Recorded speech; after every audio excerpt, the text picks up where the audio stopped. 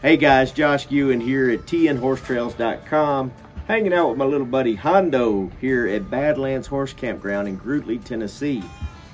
Is a really cool place. You won't find riding out in this area very often. This is about the only place you're going to see it.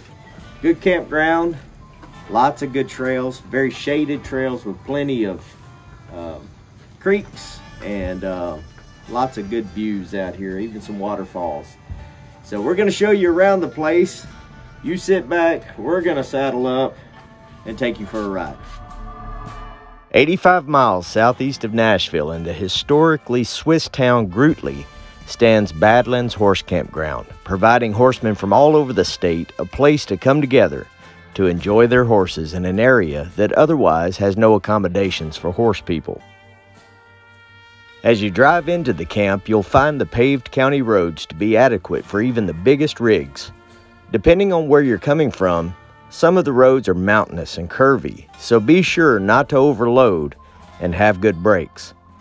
The campground is located near the end of Fletcher Road, a lightly used and narrow two-lane county road perfect for wagon riders to access the campground. The grounds offer over a dozen gravel, pull-through, and back-end RV sites equipped with 30-amp electric, and water can be brought to your trailer to fill your tank. Camping amenities include a shower house and restrooms, an on-site office and shop, tie rails, a wash area, shavings, firewood, and hay if you let them know in advance. For the horses, there are 16 covered 10 by 10 stalls and two centrally located barns. For riding, take any of the nine trailheads from the campground area to enjoy over 100 miles of trails on 20,000 acres.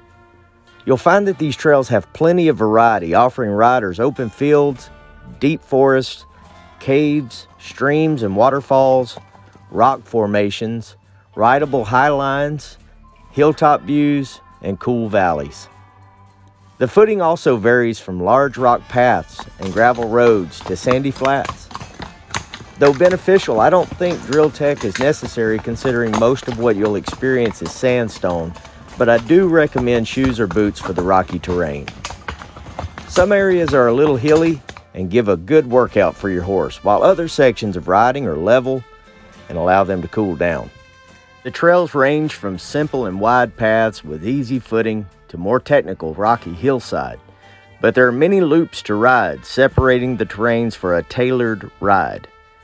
The trails are not marked, but are obvious, and there are detailed All Trails maps available for your mobile device. Stop in at the office for details. During our stay, we rode to some of the best trail destinations that Badlands has to offer. Peaceful Valley is a must-see. Set along the banks of Clifty Creek, the valley is shaded under a stand of mature conifers, providing the perfect setting to tie off and enjoy nature in peace. Another one of my favorites was the Overlook. This is an easy and short ride from the campground to the end of Fletcher Road. There you'll find a view that takes in the surrounding countryside of Gruetli. There are also several spring-fed waterfalls in the area with crystal clear streams for your horse to drink from, and even a pool for you to take a dip in on those hot summer days. There are caves, fields, roads, highlines, and more. To get the best experience, I highly recommend calling ahead to reserve one of their guides. It's worth every penny to see the sights that are easily missed. There aren't many horse trails in this part of Tennessee, so we're blessed that we have Badlands Horse Campground to give us the opportunity to explore this part of our great state. I appreciate them making my stay so memorable. And thanks to Mary Davis Taylor for creating such comprehensive all trails maps of this area and for guiding me on my adventure there.